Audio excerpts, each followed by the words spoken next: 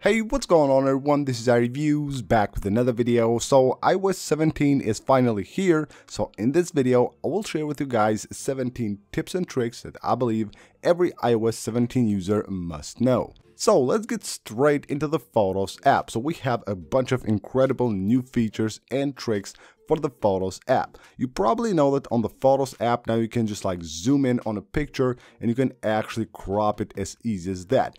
But did you know that you can actually do the same thing with videos as well? So if I have a video here, I can actually zoom in and I will have the crop button right there, which allows me to as easy as that crop any video that I want. Now this right here is really cool. How many times have you seen like a laundry tag like this and you don't know what those symbols mean? Well, with iOS 17, just take a picture of that tag and you tap the I button right there. It says here laundry care. Tap here and it will show you links to the explanations for each of those symbols, everything that you need to know about those. Now, what's really cool is that you can do something similar with car lights. So take a picture of the, of the dashboard of your car if you have a light turned on and you will see the I button right here. And again, auto symbol, you tap right there. You will have links here to everything. It will just basically show you everything you need to know regarding that sign that you have on your dashboard. On iOS 17, you don't have to read a web page. Well, if you want to, you can, but you don't have to if you're tired or you just don't want to do that, you can now listen to a web page. You simply tap the AA button right there and you will get a button here that says listen to page and just like that you can start listening to any web page you want. And while in Safari, if you have a bunch of tabs open and you need the links to those tabs, you will see right here where it says two tabs. I can tap and hold there and now it gives me the option to actually copy these links and I can go ahead and maybe paste them somewhere like notes. You can see right there, shows the title of the web page and of course the link is right there probably one of the best new features of the Photos app that I don't think a lot of people know about on iOS 17 is that now you can search even for videos. So you know like when you search, you search like for text that's on a photo, like right here, laughter, you can see it has recognizes uh, recognized text, but it also did recognize laughter on video. So right here it says 23, so it actually has recognized that voice which we're searching for on 23 different videos and it will show me the videos that I have on my camera roll where there is laughter. It's pretty cool. Just try it out, search for any sound like you can think of that's on one of your videos and you will see it will find that video as easy as that. On the new iMessage app on iOS 17, you will find the plus button here where all the apps are. You won't find them on the keyboard, you will have them here on the side. Well, you will see here the apps, but if you think that some of the apps that you use the most are not at the top or where, wherever you want them to be, you can just tap and hold one of them and you can actually rearrange them any way you like. It's not a problem, just place them anywhere you want. Most likely just something like the apps on the home screen, like you drag them and you just place them anywhere you want. Now while on the iMessage app, if you want to just send a picture to someone, you can tap the plus button and then go to photos right there. Or what you can do, an easier, quicker way, tap and hold the plus button here and it actually takes you right to your pictures. You can just simply select a picture from here. On iOS 17, when you tap somewhere like on a blank space where you want to add a text, you will find a new button on the menu right there that says autofill.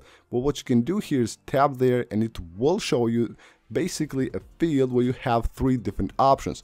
Previously, this was just scan text on iOS 16 and you can add passwords and add contact as well. So you can just automatic, automatically fill from contacts, passwords, or also scan text using the camera. Siri with iOS 17 allows to add two or more commands in a row. So you don't have to add one command and then wait or relaunch it for the next one. You can just simply talk as easy as that. So you say something, just ask her something and then of course ask her another thing. You can do that in a row just like that. Let's move on to the weather app. So when you go to the weather app and you go to your cities right here, tap the three dots right there, and then you will be able to go to units. Now right here, you will have the temperature unit from where you can actually change. So you can use Fahrenheit or Celsius or use the system setting. And then you will also have the other units for the other stuff like wind or pressure or distance. You can choose basically what you want to use here for each of them individually. As you probably know, we can set multiple timers on iOS 17 on the clock app of iOS.